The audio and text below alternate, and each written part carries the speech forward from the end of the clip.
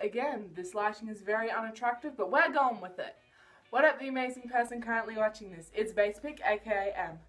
Um, now this video is going to be very sad, well, sad for me anyway, because um, I read a couple of weeks ago um, that when this tour is over, ACDC will be retiring. Now, it was on Facebook, so I don't know if it's true or not, but I'm praying to the rock gods.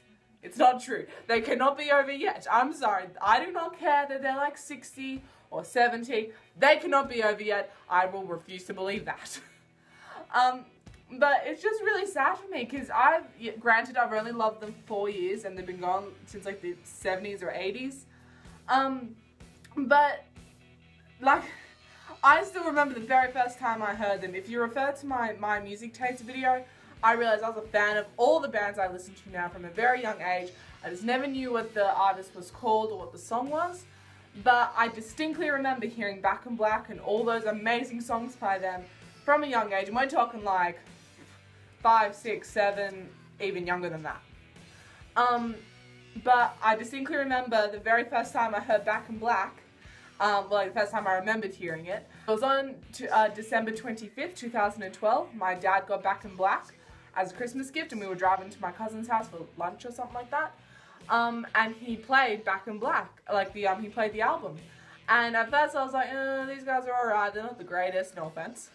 But then when he played Back in Black, I was like,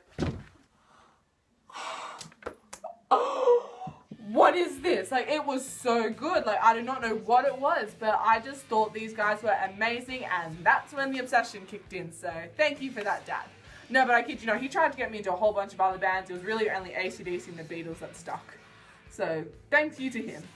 Um, but now I'm going to be directing this at the members of ACDC who will probably never watch this video, but if you are, for starters, oh, you're actually watching this? Just give me a minute.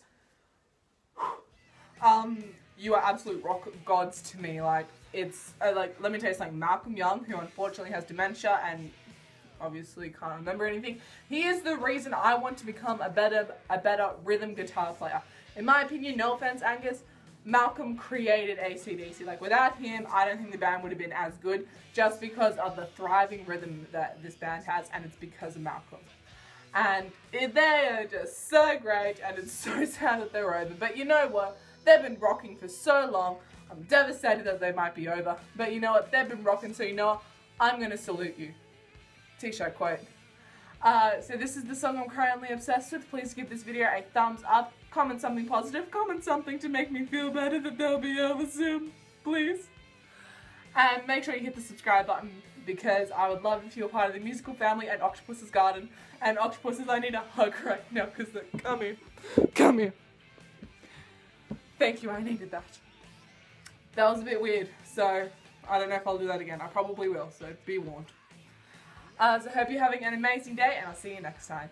And out. Peace, love, rock on. Bye. Welcome to Octopus's Garden.